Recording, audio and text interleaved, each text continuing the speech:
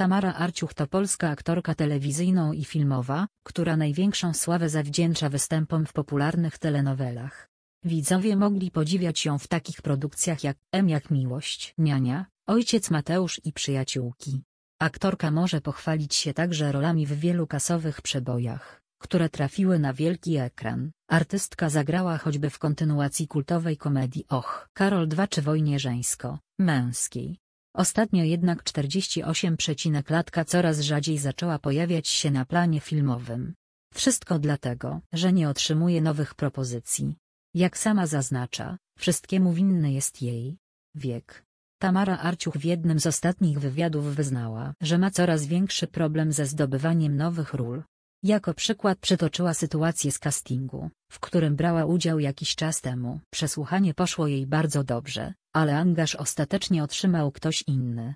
Kiedyś brałam udział w castingu, do którego bohaterka miała mieć 45 lat i ja również tyle miałam. A rolę dostała dziewczyna, która miała 37 lat. Serial miał być kręcony dosyć długo, stąd usłyszałam, że producenci się boją, że mogę się zestarzeć do tego momentu, kiedy się zakończy, relacjonowała gwiazda Niani w rozmowie z cozatydzień.tvn.pl. Artystka wie, że to część większego problemu. Ageizm, czyli zjawisko dyskryminacji kogoś ze względu na wiek, jest bardzo powszechny, szczególnie w środowisku aktorskim. Niestety dotyczy przede wszystkim kobiet. Oczywiście tego wprost się nie mówi, ale usłyszałam kiedyś, że się zestarzałam, jakby oczekiwano ode mnie, że ten proces mnie ominie, podsumowała.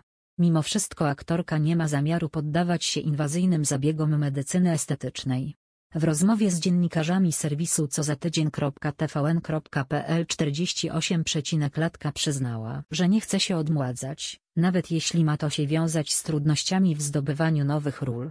Chyba dla ogólnej wyobraźni ludzi, którzy o czymś decydują, jest to jakaś przeszkoda. Nie chce się na siłę odmładzać, wstrzykiwać sobie w twarz jakichś dziwnych substancji. Oczywiście korzystam z medycyny estetycznej, ale w sposób nieinwazyjny, deklaruje.